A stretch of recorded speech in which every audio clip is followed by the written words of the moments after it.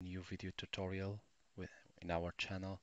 Today I'm going to show you how you can install or how you can make a bootable USB with the system Windows 10. That means how you can make or how can you put a Windows 10 in USB to use it for for installing Windows 10 on another computer or in the same computer. So basically you will need to download a compute uh, this program which you can see the icon here.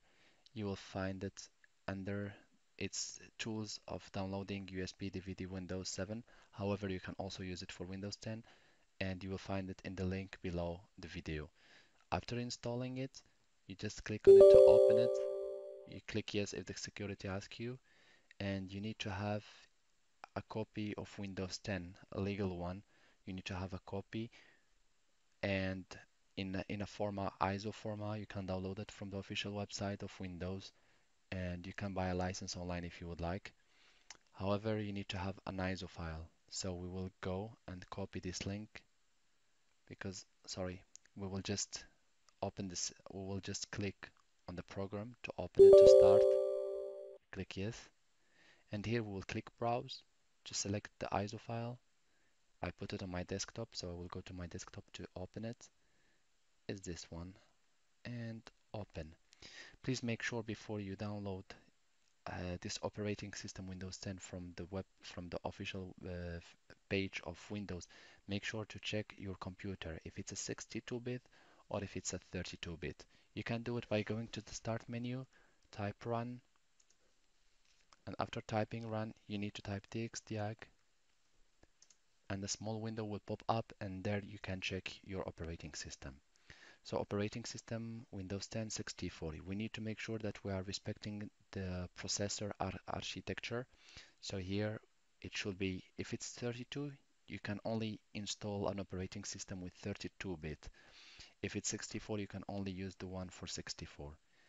However, in my case, I'm installing the 32 because I want to, to use this USB to install Windows 10 on a, on a different computer, which is 32.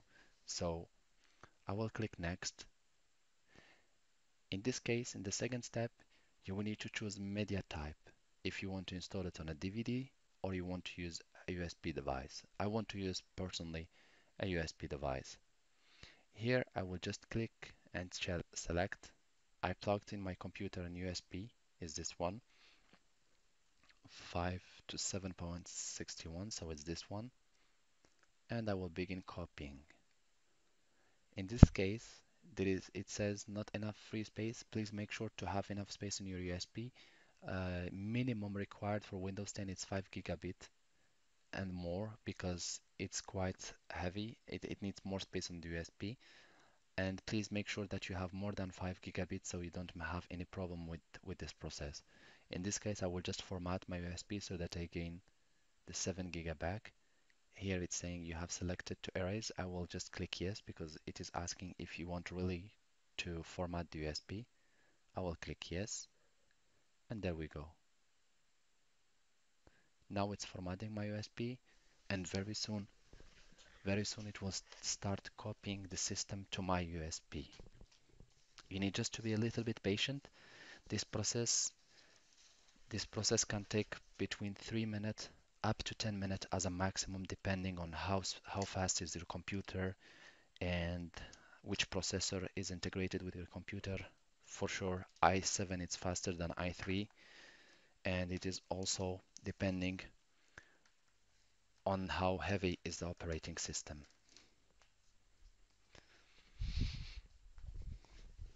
So as you can see it begins copying the files on my on my USB and this can take a little bit of time as I said.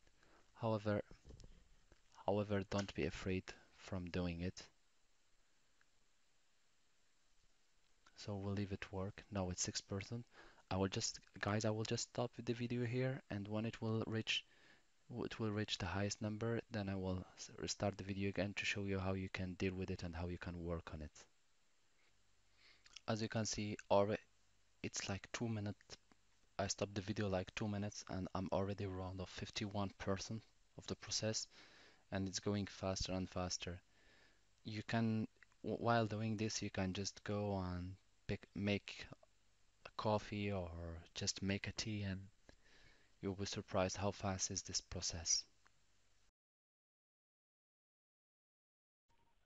As you can see the procedure now is finished, backup completed now we will just close this because if we click start over you will you will just start the process again. If you plug a USB and you can do it but on the same USB it will be like doing the same work again.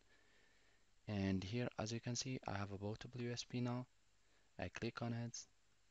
I click setup there is an error which will appear because my computer is 64-bit and I choose 32 as you can see. And this is the error which will appear so it's okay because I will just install this program from this USB in a computer which is compatible with it. I hope this video was helpful to you guys. Please, if you need help or assistance, you can always contact us. Uh, if you like this video and you found it useful for you, please share, like and subscribe. Thank you very much for watching and see you in another video.